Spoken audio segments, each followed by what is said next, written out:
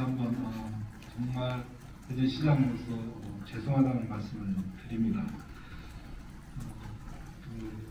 사망자 직원의 이제 빈소에 가서 당시 부모님한테 어, 여러 가슴 아픈 이야기 듣고 어, 실체적 진실을 규명을 위해서 최선을 다하겠다는 말씀도 드렸고 어, 지난번 간부의 석상에서도 어, 이거에 대한 유감 표명과 재발 방지를 위한 노력에 대해서 어, 다시 한번 우리 공직자들한테도 이야기를 했습니다만 어, 지금 그 우리 감사위원회에서 이 사안들에 대해서 어, 노력을 하고 이 문제를 규명하기 위한 여러 가지 조치들을 했습니다만 어, 조사상의 여러 가지 그 제약들이 예, 따를 수밖에 없는 상황이라는 것을 먼저 말씀드리고 그리고 워낙 사안이 중대하기 때문에 보다 더 철저한 수사를 통해서 모든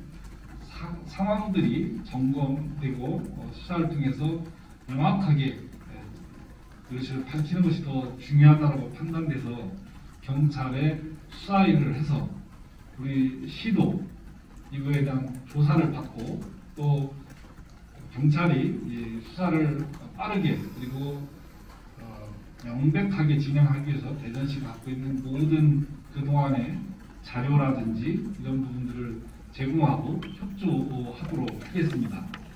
그래서 어, 이 사망 사건이 어떠한 흔적의 의혹도 어, 남기지 않도록 어, 최선을 다해 나갈 것입니다. 뿐만 아니라 어, 우리 공직사회에서 어, 좀더 체계를 바꾸고 그래서 모든 신규 직원들이